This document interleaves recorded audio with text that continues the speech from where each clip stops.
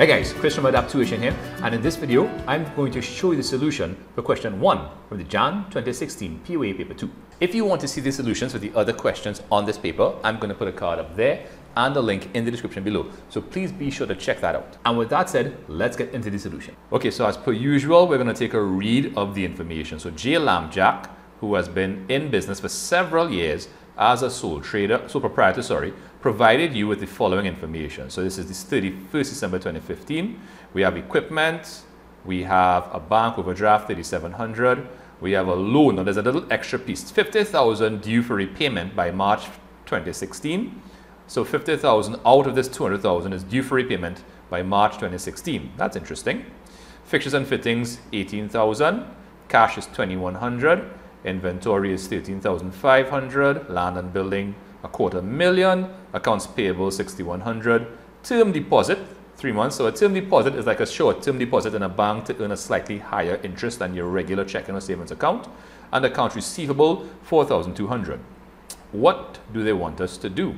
So using the order of permanence, draw up a classified statement of financial position, balance sheet for J. Lambjack as at 31st December 2015 in the space provided, well, on that page. Okay, so order of permanence means you're going to start with the most permanent assets first, right? And those of you who have been following my series um, will know that, as I mentioned before, CSEC has been moving away from the working capital approach to balance sheets, where you have current assets minus current liabilities, and they are more they're, they're preferring nowadays the assets on top and the capital and liabilities below. So that's the approach I'm going to take. And I'm going to use a slightly different format in this particular solution than in previous ones because again, there's no one right format for a balance sheet. There's a minimum amount of information that's prescribed to be um, dis disclosed and that's what I'm going to do. So let's start by heading up our statement. So J. Lambjack, statement of financial position at, as at 31st December 2015 and some dollar signs. So the first things would be our non-current assets. So our equipment, fixtures and fittings, land and building. So I'm going to start with the land and building, probably go to the fixtures and fittings, right? Then the equipment, and we're going to put a subtotal across here. So you're noticing I have three columns, right? So some people ask, so what goes where? Here what? My thing is, I like my rightmost column to have the least amount of detail. I like it to have the summary figures. And if you want to know more, go one space to the left, right? So you're going to see my details of my non-current assets here and my subtotal there. Next, current assets. So we know we have stock, uh, of course we have debtors, accounts receivable, this term deposits, uh, we have cash, right? Bank overdraft is a current liability, so that does not go in current assets, so current assets. So inventory, account receivable, term deposit, cash, and a subtotal. Now, some of you may be wondering, why did I not put term deposit before account receivable, right? So you could do that because remember order of permanence, right? Account receivable, we expect to collect usually within 30 days, but I mean, the reality of business is sometimes it takes three to six months to collect receivables, right? But again, if you want to put term deposit on top there, um, like that, we have a line here with the subtotal for non-current assets, a line here with the subtotal for current assets, and we have we add them together to get total assets. Of course, total assets has to be financed by capital and liabilities. So the capital we do not have. So we're going to have to work backwards to get that. So let's start off with the non-current liabilities. So we have a loan. Now the loan amount is 200,000.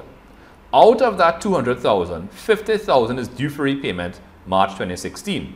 The current date to which the financial statement is being drawn up is the 31st of December 2015. March 2016 is within less than a year for sure. So that 50,000 cannot be classified, properly classified as non-current. So you're going to have to take out that 50,000 from the 200. Once again, because non-current liabilities are repayable within more, uh, sorry, after more than one year has passed, right? So what's going to happen is we're going to have to deduct that 50,000 from the 200 to get the correct amount for non-current liabilities. Right, so we're going to put that long-term loan 150,000 there.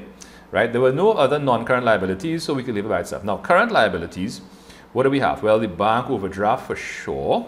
Uh, I'm seeing accounts payable, so it might just be those. Oh, no, and don't forget the 50,000 piece I just talked about. All right, so we're going to call that, right, so accounts payable, bank overdraft, and I call that the current portion of long-term debt. Okay, now you may call it something different. If you call that something different, let me know in the comment section below. All right, so we're going to put a subtotal for current liabilities. We're going to add those two things together to give us total liabilities of 209,800. And of course, that's going to give us a total capital and liabilities of 422,800 because it has to match up here, which means we can now work backwards. We can now use our accounting equation, assets minus liabilities equal to capital, to work out the capital figure up here, right? So you're seeing the working inside of there as well, right? You're seeing 422,800, the assets total, minus the liabilities total, 209,800 for the capital figure of 213,000. All right, if you have any questions on this particular financial statement, if you found I did something different or you want to know why, please let me know in the comment section below. Right now, let's just, let me just switch my screens and we'll go on to the next part of the question. Okay, so this is part B to this question. It says the table below shows the opening balances at the beginning of November for assets, liabilities, and capital for St. Jude's business. So we have this item here, right? So we have three assets, liabilities, and capital. And we have a bunch of transactions here, but what do they want us to do? Complete the table above to show the effect of each transaction on the opening balances. Use plus and minus signs appropriately. Transaction 1 is done for you. So transaction 1, right, it says bought motor vehicles costing 12,000 on credit. So if you buy motor vehicles, your assets are going to increase. So you're seeing a plus 12,000 there. And if you buy it on credit, it means you didn't pay for it, which means you currently owe money for it. So you're going to see your liabilities going up as well. Because when you buy something on credit and you owe money, that's a liability, which is increasing in this case. So let me just start to populate my little table across here. So as you can see, I started off with the opening balances, 600,000, 400,000, 200,000. 6 minus 4 is 2, or 4 plus 2 is 6, whichever way you do it. Um, first transaction I populated there already. Now, the next thing, the owner took goods costing $500 for his personal use. Okay, that's drawings. Drawings is a reduction in capital. So capital is going to go down as well as assets because goods or stock or inventory is an asset. And if the owner is taking that out of the business, that is decreasing. So you're going to see a, a minus 5 under the assets and a minus 5 under capital, right? So my, I like to put my negative things in brackets right? You may, you may use a minus sign. Actually, that's what the question said to this. It use plus and minus, all right? Next, it said bought goods for 900 on credit from R. James. So if you bought goods, goods is an asset, it's increasing, so we're going to have to put 900 under the assets column. If you bought it on credit, it means, again, you didn't pay for it, which means your liabilities are going up as well. So as we see here, assets and liabilities are both going up by 900. Next, it says paid mortgage 1500 by check. So your mortgage is a liability. If you pay piece of your mortgage, you are paying back some of what you owe, which means that your liability is going down. It also means because you are paying back, you are using, using up some of your money, right? You're using money out of your bank because it said check. So assets and liabilities will be decreasing by 1500 in this case. Next, right? The owner settled an amount of 15,000 owed by the business to Yulong from his personal savings. Okay, this type of thing almost always causes confusion. First things first, so if the owner settled an amount of 15,000 owed by the business, it means the owner paid off something the business owed. So the liability of the business is going to go down, right? So you're going to see that there first. Um, but what's happening is capital is also increasing. So most times people think about, sir, if the owner using up using up his money, capital decreasing. And I'm like, I understand what you're saying, but think about it this way. The owner is not taking money out of the business, right, to pay something for the business.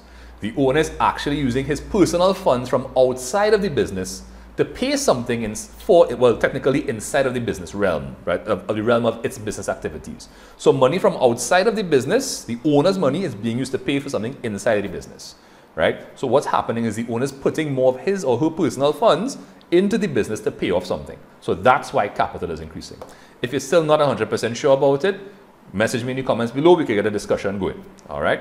And the final transaction here. So, right, so this is another one they like to bring. Um, to bought office furniture costing 3500 So assets going to go up by 3500 The owner made a down payment of 500 So the down payment, or by check, so it said down payment by check. So it means that we used up some money from the bank. So your assets also have to go down by 500 and promise to pay the balance in three months, the installment. So the balance, if you bought something for 3500 and you only paid 500, it means you still owe 3000. So that's your liability. So we're going to have a couple of things going on here. So assets are going to go up by 3,500, the value of the office furniture, and it's also going to go down by 500, the amount you paid by check. And liabilities are going to go up by 3,000. Now the net increase in assets is 3,000. So your assets and your liabilities are both increasing by the same amount. And you're going to have a total um, for each column, 613,900 here, 3994, 214.5. And if you want to confirm right? If you add up the 399.4 and the 214.5, you get back 613.9. Or you can do 613.9 minus 399.4. Cool. Okay, so folks, there you have it. That's about it for this question. If you want to check out any more videos, I'm going to put some cards up here. Please don't forget to subscribe to my channel and click the notification bell so you know every time I drop a new video. And don't forget to check out my website for some free POA handouts. Thanks so much for watching. I'll see you guys next time. Bye.